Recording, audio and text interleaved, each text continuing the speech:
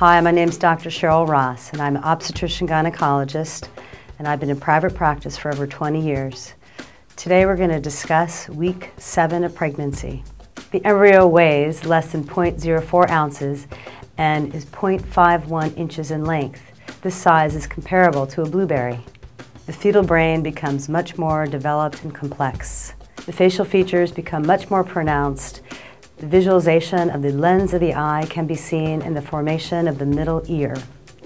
Tiny arms and leg buds start to develop as well. During week seven, morning sickness seems to intensify. This can either encourage or discourage you to eat and would definitely affect your appetite. Thank you for watching. For any more information on these topics, please click on the links below and be sure to rate, comment, and subscribe to this channel. And if you have any ideas of videos that you want to see, please email us at request at mahalo.com. Look forward to seeing you again.